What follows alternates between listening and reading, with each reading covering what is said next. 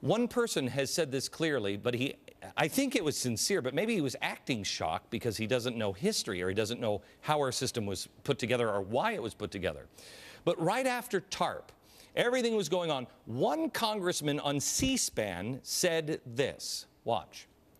If they had not done that, th their estimation was that by 2 o'clock that afternoon, five and a half trillion dollars would have been drawn out of the money market system of the United States, would have collapsed the entire economy of the United States, and within 24 hours, the world economy would have collapsed.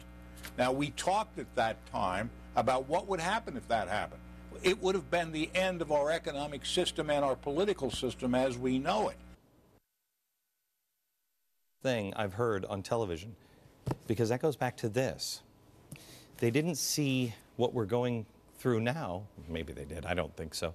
They didn't see it coming. They were trying to stop world war. So now we have to decide can we save things like the banks or Greece? I personally don't think we can. I don't think it's healthy to. Others do. But the question should be now should we save them? Now, knowing what I just told you, that if we don't, everything collapses, I mean, it's designed to collapse. Should we save them? Your gut instinct is yes, we should. Hello, we should. But now let me introduce you to somebody else from history. This guy is an economist you probably never heard of because he's been practically erased from the history books. He was a Russian. His name was Nikolai Kondratiev. He is credited with popularizing, and it's oh so very popular with the people I hang out, the wave theory on capitalism. 1925, he writes a book, Major Economic Cycles. Basically, the wave theory, hang on, I need my pipe.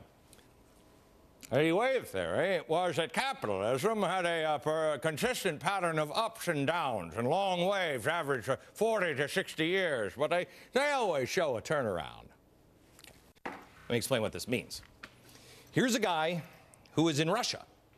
He, Stalin comes to him and says, uh, So, uh, uh, what's better, communism or capitalism?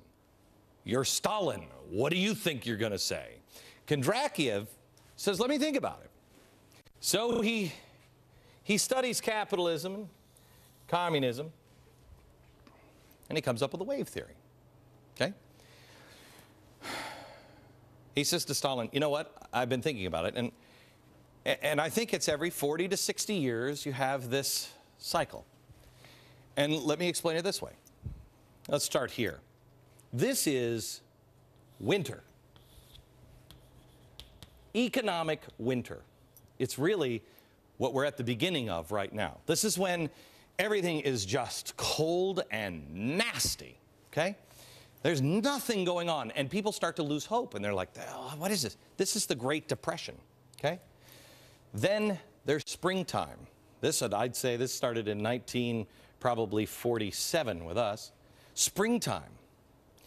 And it just starts coming up and everything is exciting. This is where the phrase, remember, if you've heard this, green shoots. Green shoots because it's spring here economically.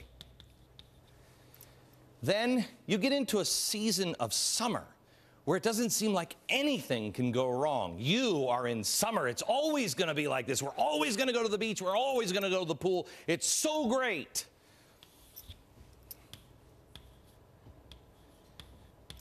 Nineteen seventies, really to the nineteen nineties, probably nineteen ninety. Here's here's summer, when America can do no wrong. Then you hit fall. This is probably 1990, probably 95 to now. The leaves start to turn. You start to see things like debt. You start to see things that aren't working. You, you start to say, wait a minute, this, isn't, this, is, this doesn't seem good. It doesn't seem like it's right. But you have such arrogance from summer that you just don't believe that the leaves will ever turn. So you just think it's always going to be this way. It's going to be okay. It's going to be okay. And right here at the end of autumn, you again hit winter. And it's only at the very end do people freak out and say, and they try to save it.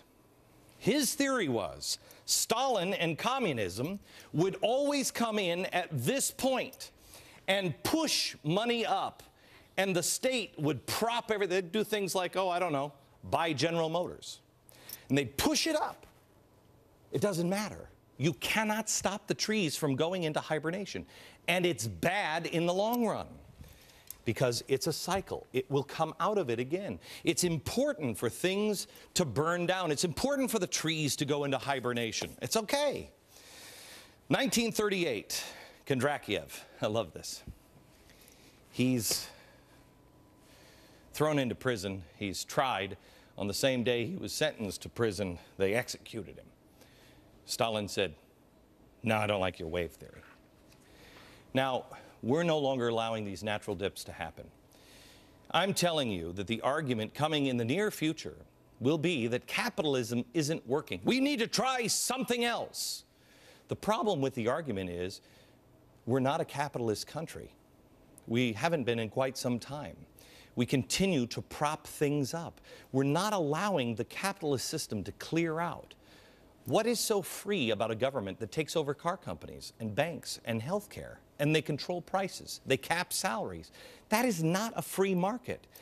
This must go in cycles. We've uh, disturbed the natural order of things, so we're not free.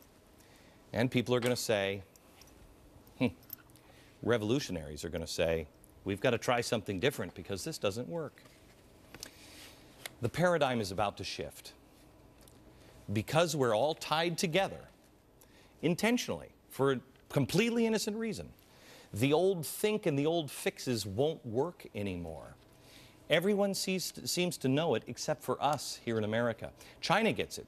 Tomorrow night, Joshua Cooper Ramo is going to be on the program, uh, doing a different show tomorrow, and you don't want to miss this one. He's over in Beijing, and we talk from time to time, and he lives over there, and he says, Glenn, it is exciting over there. They're all looking at what are the possibilities, what's going to happen. They're concerned about instability. They know what's coming, but they are thinking about how do we redesign. Here in America, we're not. A massive transformation is about to happen, and they're excited about it, and we're just hanging on by our fingernails. But not everybody in the administration or in government or in America is oblivious to this fact. The Obama administration knows it. Radical progressives know it. This is their window of opportunity, and they are thrilled. The only way to survive this is to pick a radical. These guys were radicals as well. Free radicals. Think outside the box. May I be so bold to say, cut spending in half radical idea. Reduce the size of government in half, flat tax of 12 to 15 percent. And here's what happens. While the rest of the world and Europe is on fire, and begin to crater because remember, we're all tied together. Somebody like George Soros and all of the entrepreneurs of the world need some place to put their money. Entrepreneurs need to go to redesign. They're going to go to China if we don't wake up. We have always been the most stable free nation on earth. As the rest of the world craters, if we get government and taxes out of the way and we tell the world we're serious about not racking up debt, money will look for a place to go. If we have low taxes, minimum regulation, maximum freedom, money from all over the world will leave the burning economies of the world and rush to the safe havens of America over China. We can get the best minds and the best capital and the best workers in the world here.